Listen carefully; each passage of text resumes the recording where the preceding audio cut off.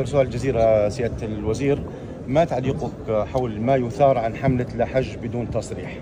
حملة حج بلا تصريح هي باختصار هناك من يريد أن يسلب حاج موجود بدون حق. لا أحد فينا يقبل أن يأتي إلى الحج ثم هناك من يريد أن يأخذ منه حج.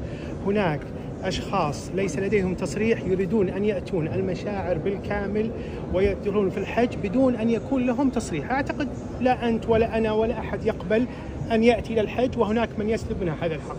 ودور الحكومة السعودية هذا دور أصيل للحكومة السعودية لتنظيم الحج وأيضا إعطاء كل ذي حاج حقا. الحجاج المصرح لهم لهم حقوقهم وغيرهم ليس لهم حق في ذلك. هل هذا ينطبق هل هذا ينطبق على السعوديين وغير السعوديين على معالي؟ السعوديين وغير السعوديين والحكومة السعودية عندما تقوم بأي إجراء أو أي تنظيم فهي لا تفرق بين الجنسيات. سيادة الوزير تقريبا هذه الحملة هي الأولى من نوعها هذا العام.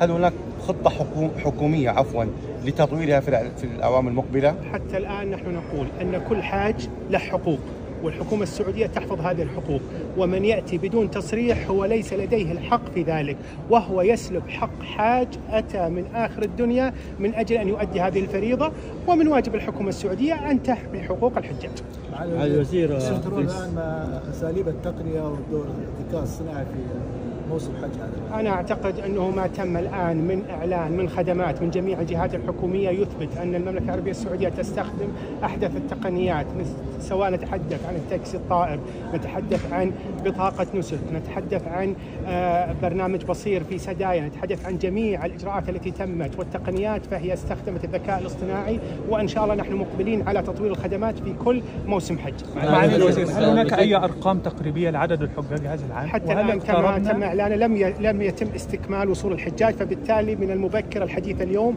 عن وصول الحجاج هل اقتربنا معالي من الوزير مستويات ما يتعلق بالوفود 2000. الإعلامية وأيضا التصاريح الإعلامية آه، دور كبير قمتم به هذا العام.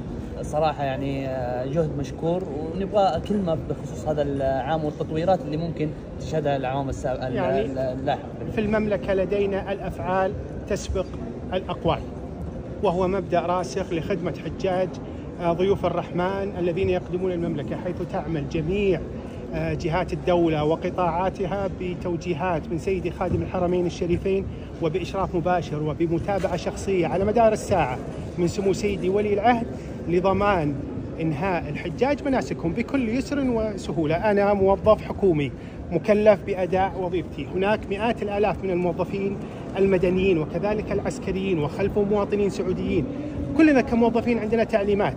مباشرة أن موسم الحج هو أهم واجب نقوم فيه طول السنة، ولذلك ترون أن الدولة تستنفر بكافة إمكانياتها وطاقاتها لخدمة الحجاج ولضمان نجاح موسم الحج بإذن الله. كم تكلف موسم الحج هذا العام معالي الوزير؟ والله عمر المملكة العربية السعودية ما حسبت تكاليف الحج ولكن بالأكيد أن كل ما يحتاج الحجاج تقوم فيها